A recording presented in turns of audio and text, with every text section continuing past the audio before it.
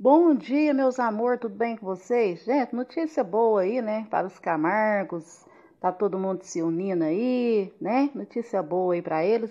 Gente, é, tem uma fonte aí que falou que vai o Luciano na próxima vinda, tá para vir aqui no Goiás, né, gente? Diz que vai visitar netinhas, netinha, viu? É, diz que vão lá fazer uma visita lá. E a, a avó também vem, viu, gente? A avó vem ver os bisnetos, né?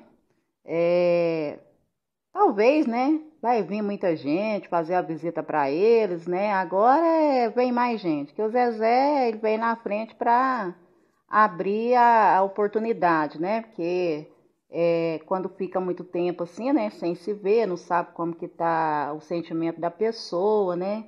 E tudo. Agora eles começam, né? A ajudar eles, é, começam a fazer as visitas e começa a ficar tudo bem, né, gente? A paz agora começa a reinar nessa família, né?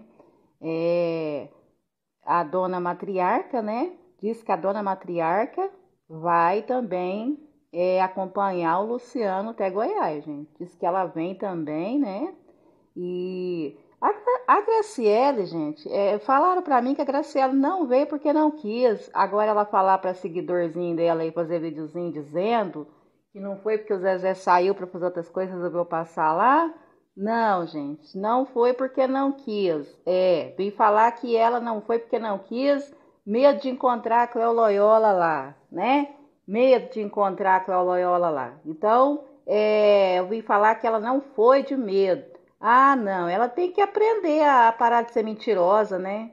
Essa Graciela, ela anda muito mentirosa, anda muito é, dando desculpas. Por que, não fala a verdade, né? Eu vi falar aí, diz que a, a, a Graciele ficou com medo de ir lá, né?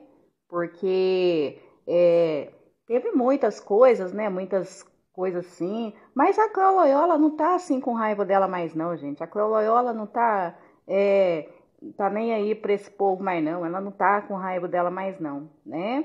Ela tá de boa com os, com os pessoal aí. Gente, até o próximo vídeo.